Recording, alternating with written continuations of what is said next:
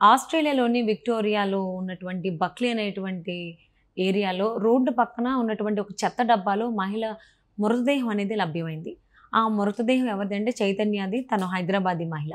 So వాళ్ళ husband ఎవరైతే ఉన్నారో వరికుప్పల అశోక్ రాజ్ రీసెంట్గానే తను ఇండియా వచ్చాడు వాళ్ళ కొడుకుని తీసుకుని అని చెప్పేసి వార్తల్లో వినిపిస్తున్నాయి అసలు అసలు ఏం జరిగింది జరిగింది ఏంటి?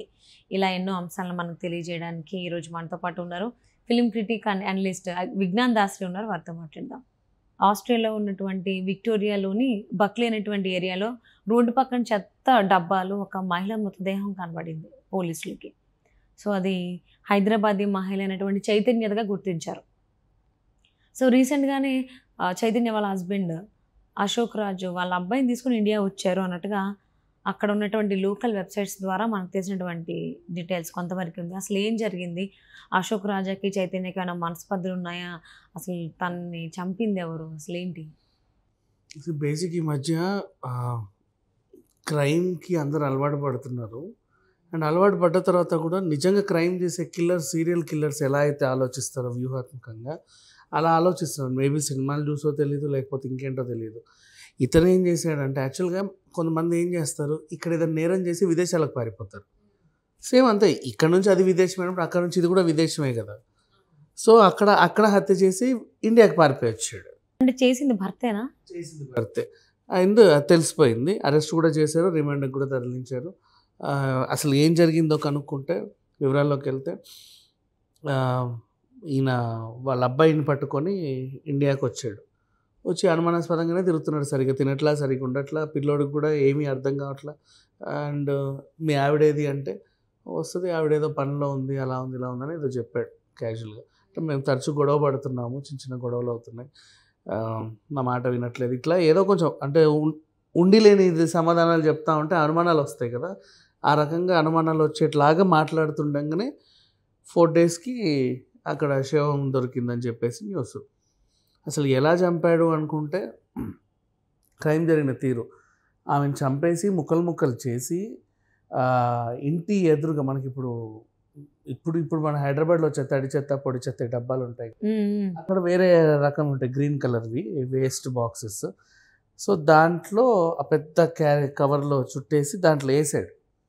మళ్ళీ అలాగే చెత్త తీసుకెళ్తారా? లేకపోతే వాళ్ళు మళ్ళీ తడిది తడి పొడికి పొడి వేడి చేస్తే దొరికిపోదా? ఎందుకు వచ్చిన గొడవ అనుకున్నాడు భయం వేసింది తర్వాత డబ్బా డబ్బా తీసుకెళ్ళి అట్లా అటు వెళ్తూ ఇటు వెళ్తూ కారులో కొంచెం అక్కడ ఏదో నిర్మాణ బక్లీ అనే ఏరియాలో వీళ్ళు ఉండేది పాయింట్ కుక్. ఇక్కడ ఉంటారు. అండ్ ఇక్కడ నుంచి ఒక ఎయిటీ సిక్స్ కిలోమీటర్స్ దూరం. వెళ్ళాడు వెళ్ళాడు వెళ్తా ఉంటే అంటే ఒక వంద కిలోమీటర్లు ఎటో ప్రయాణం చేస్తున్నాడు ఎక్కడ పడేద్దామా అని. ఒక చోట ఆయనకి ఎందుకో సేఫ్ అనిపించింది. అక్కడ పడేసాడు. ఇంకా తర్వాత వచ్చి పిల్లని తీసుకొని వెళ్ళిపోయాడు. అక్కడ తిరిగే స్థానికులకి అనుమానాస్పదంగా చెత్తకుప్ప అక్కడ కనపడింది. అంటే బేసికలీ ఇప్పుడు మన దగ్గర ఇప్పుడు మన ఏరియాలలో నిజంగా చెప్పాలంటే మన కర్మ ఏంటో కానీ ఎక్కడన్నా ఏదన్నా డ్రమ్ములు కానీ అవి కానీ అట్లా అట్లా పడేస్తుంటే మనల్ని ఎవడూ పట్టించుకోడు. బట్ ఫారిన్స్ అన్ని నీట్గా ఉంటాయి కదా. ముందే మెల్బోర్న్ అది అండ్ విక్టోరియా మంచి ఏరియా. నీట్గా ఉంటుంది కాబట్టి కొంచెం అక్కడ ఏ చిన్న ప్లాస్టిక్ బాటిల్ కనబడ్డా ఎవరో వెళ్ళి దాన్ని ఇట్లా ఒకసారి తడతారు. ఏంటి అది అని.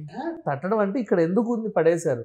చూస్తే అందులో పడేద్దాం లేకపోతే అసలు ఎందుకు ఇక్కడ ఉంది? ఇట్లా ఇట్లా అన్నీ చూస్తారనమాట ప్రతి ఒక్కరు పట్టించుకుంటారు. మళ్ళీ వాళ్ళకి ఎందుకు అంత భయమో అంటే భయమో లేకపోతే ఇంకే ధైర్యమో తెలియదు కానీ చేస్తారు. మన దగ్గర అయితే వరుస పెట్టి ఐదు వందల డ్రమ్ములు ఉన్నా అక్కడ నుంచి మురుగు వాసన వస్తున్నా ఎవడూ పట్టించుకోడు.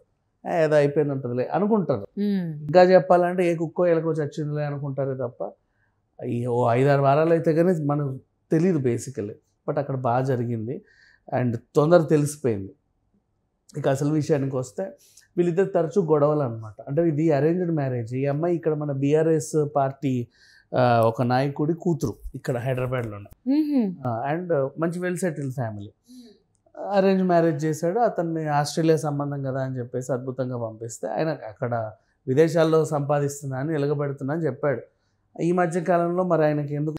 అండ్ కుకింగ్ అంటే ఒక హాబీ రకరకాల వంటలు తయారు చేస్తే ఆ చుట్టుపక్కల వాళ్ళకి ఇచ్చి దీన్ని లడ్డు అంటారు దీన్ని మైసూర్ పాక్ అంటారు దీన్ని జంతిక అంటారు దీన్ని గవ్వ అంటారు అని అందరికి పరిచయం చేసేది అమ్మాయి. ఓకే ఇండియన్ వంటకాలు. ఆ, ఆ రకంగా వీళ్ళందరితో కొంచెం మంచి పరిచయాలు ఉన్నాయి. ఇప్పుడు ఈమె చనిపోయింది అంటే వాళ్ళందరూ బాధపడతారు అయ్యో రోజు మాకు ఏవేవో వంటలు తెచ్చి ఇచ్చేది ఇవి చనిపోయింది అంటే నమ్మలేకపోతున్నామండి అని వాళ్ళు చెప్పుకుంటుంటే అనిపించింది.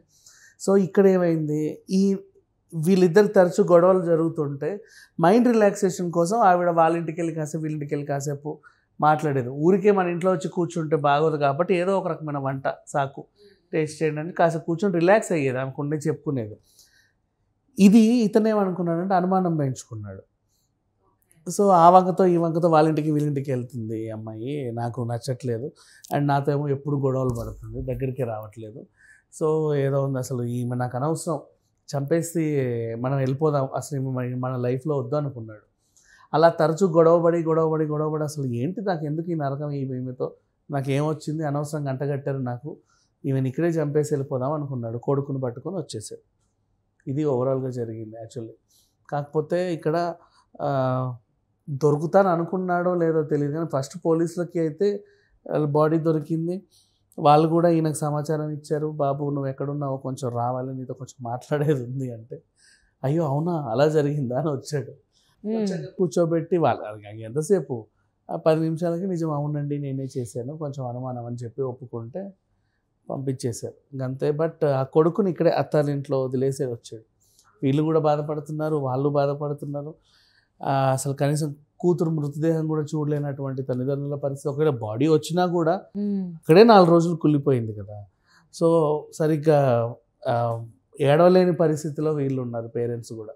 హైదరాబాద్ చెందిన అమ్మాయి. అండ్ ఇంకా చెప్పాలి అంటే నిన్న కూడా ఒక అమ్మాయి ట్రెక్కింగ్ అని వెళ్ళి ఉజ్వల మన కృష్ణా జిల్లా నుంచి ప్రమాదవశాత్తు ఆ పిల్ల చనిపోయింది.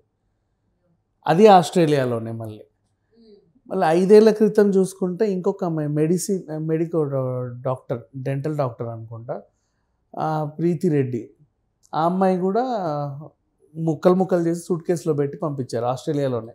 తరచు మోస్ట్లీ ఇక్కడ నుంచి ఆస్ట్రేలియా వెళ్తున్నారు. మరి కొన్నాళ్ళు ఐదేళ్ళు మూడేళ్ళు నాలుగేళ్ళు ఉంటున్నారు. తర్వాత అమ్మాయిల్ని ముక్కలు ముక్కలు చేసి సూట్ కేసుల్లోనో లేకపోతే డస్ట్బిన్లోనో డ్రమ్ముల్లోనో పడేసి వచ్చేస్తున్నారు. తరచుగా ఆస్ట్రేలియాలోనే జరుగుతున్నాయి ఇట్లాంటి ఘటనలు మరి. అంటే ప్రీతిది కూడా చేసింది వాళ్ళ హస్బెండేనా ఆ ప్రీతి అప్పుడప్పుడు ఫైవ్ ఇయర్స్ అయింది. మహబూబ్ నగర్ చెందిన అమ్మాయి తను. అది ఫైవ్ ఇయర్స్ బ్యాక్లే అది బాగా సంచలనం సృష్టించినప్పుడు మంచి అయ్యో పాపం అనుకున్నారు. నిన్న యాక్చువల్గా జరిగిన ప్రమాదవశాత్తు పాపం ఉజ్వల అనే ఒక డాక్టర్ ట్రెక్కింగ్ అని వెళ్ళి చనిపోయింది. ఆమెది మాత్రం అనుమానాస్పద మృతం కాదు. బట్ అసలు అది మర్చిపోకముందే మళ్ళీ ఇంకొక ఘటన వెలుగు చూసేసరికి తెలుగు రాష్ట్రాల్లో ఆస్ట్రేలియా అంటే భయం వేస్తుంది ఈ మధ్యకాలంలో. అందులో ఉన్న పాపం చైతన్యకి చిన్న బాబు కూడా ఉన్నాడు. ఇప్పుడు ఆ బాబు పరిస్థితి ఏంటి? నాన్నేమో జైల్లో అమ్మేమో తిరిగి రాని లోకాలకి వెళ్ళిపోయింది. ఇప్పుడు ఆ అబ్బాయికి ఆ విషయం అసలు పిల్లోడికి ఏమీ తెలియదు. జస్ట్ సైలెంట్గా ఇండియా వచ్చాడు వాళ్ళ ఇంట్లో వదిలేసాడు మూడేళ్ళే పిల్లోడికి. ఏం తెలియని కూడా తెలియదు పాపం. కొంచెం కొన్నాళ్ళు అత్తమామలతో ఉండే మర్చిపోతాడేమో. నానమ్మ తాతయ్యలతో. మర్చిపోతేనే బెటర్. ఎందుకంటే అది తను గుర్తు తెచ్చుకొని మళ్ళీ బాధపడమే కదా. అవును ఇక్కడ అమ్మమ్మ తాతయ్యలతో నానమ్మ తాతయ్యలతో ఉంటే అట్లీస్ట్ వీళ్ళన్న